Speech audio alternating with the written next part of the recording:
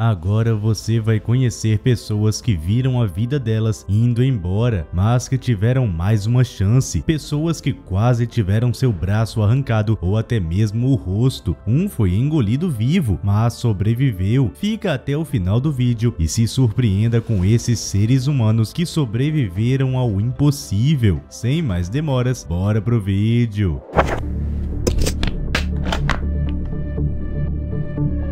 Piton Brava as pitons invadiram a América com tendências assassinas e um apetite que não para de crescer, o que prova que ninguém está seguro delas. Então, especialistas têm feito de tudo para capturá-las e colocá-las em seu habitat natural ou em algum outro lugar onde elas não possam fazer vítimas. Um caso realmente impressionante ocorreu quando Steve foi surpreendido e atacado por uma cobra monstruosa na Flórida. A piton atacou Steve com um bote logo na cara cara. Como você pode ver, é uma cobra realmente e ela era muito experiente, queria capturar sua presa para depois engoli-la. Então, ela cravou seus dentes no nariz dele e começou a sufocá-lo, impedindo-o completamente de respirar. Steve deve ter visto toda a sua vida diante de seus olhos e com certeza assistiu ao fim dela. A esposa de Steve chegou para ajudá-lo, mas ficaram pensando em como salvar Steve enquanto ele estava sendo sugado pela cobra brava. Parece que, de repente, ele percebeu a gravidade da situação e então começou a lutar pela sua vida e conseguiu tirar a cobra de sua cara. A esposa de Steve teve a ideia de derramar o suco gelado na boca da cobra e cutucar sua língua, fazendo com que a cobra se sentisse incomodada, congelada pelo suco e pelo gosto diferente. E foi assim que Steve conseguiu se salvar.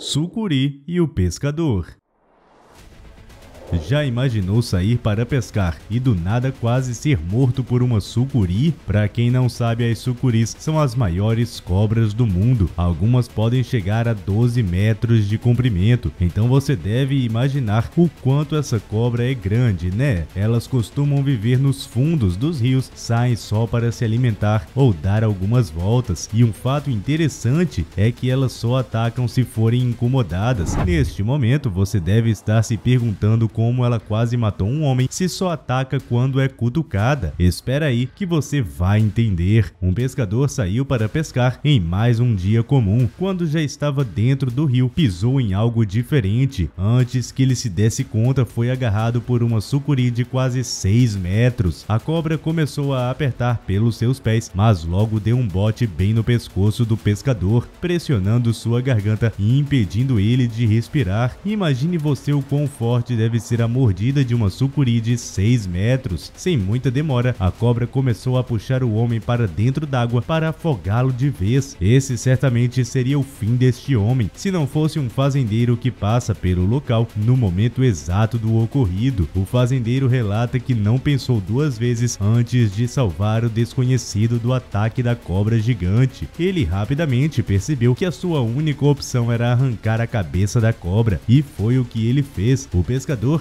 após o ocorrido, ficou três semanas no hospital para se recuperar. No fim das contas, tudo o que ele ganhou foi uma cicatriz no pescoço, um novo amigo e muita fama na sua pequena cidade.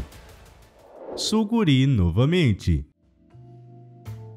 Você acha que ele foi o único que sobreviveu ao ataque de uma sucuri? Não, não. Ainda aqui no Brasil, nós conhecemos a história de Didi, outro pescador que saiu para pescar, só que esse saiu com a família, sua esposa e sua filha. Na verdade, o que era para ser mais um dia calmo de pesca se tornou um pesadelo. Uma sucuri do nada foi em direção à canoa deles, sem explicação nenhuma. A filha do pescador foi a primeira que viu a cobra, então ela saltou logo para a água tentando fugir. Quando o pai virou para ver a cobra, já era tarde demais. A cobra deu o bote no braço dele e começou a se enrolar nele ele. Em pânico, a esposa começou a tentar fazer a cobra soltar o seu marido, mas a cobra não soltava e manteve seus dentes cravados no braço de Didi. Foi então que ele correu para procurar ajuda e quando voltou, ele já estava desacordado. Rapidamente, os vizinhos que ela foi chamar deram três facãozadas na cobra e conseguiram libertar Didi e levá-lo para fora d'água para tentarem acordá-lo. Felizmente, ele conseguiu acordar e novamente por ter sobrevivido ao ataque, também ficou famoso na sua cidade. Não é todo dia que alguém sobrevive ao ataque de uma sucuri. Homem Veneno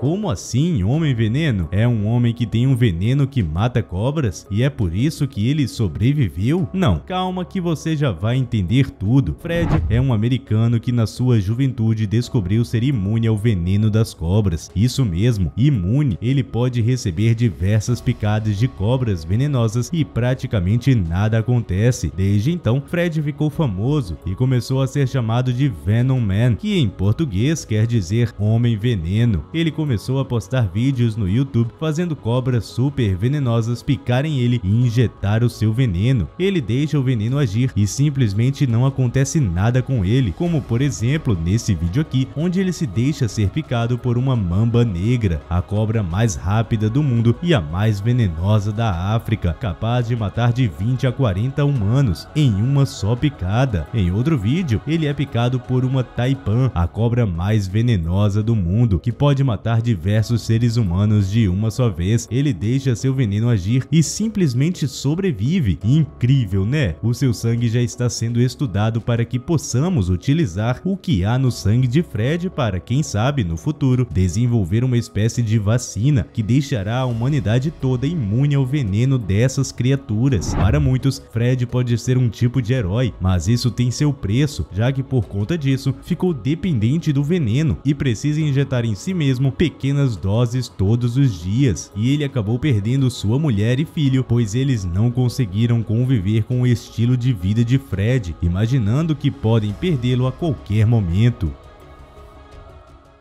Engolido por anaconda.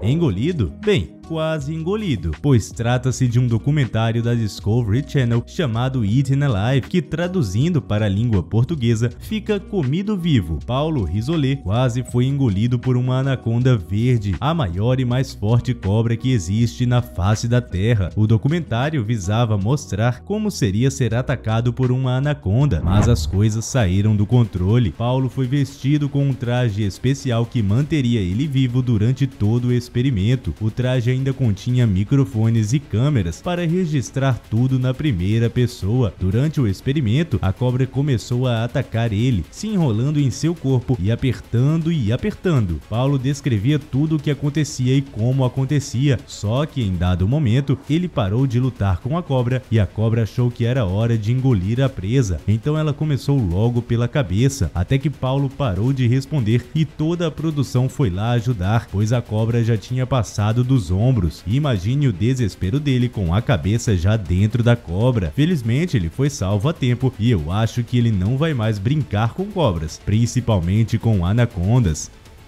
Se inscreva para não perder os novos vídeos e deixe o like para ajudar o canal. Até a próxima!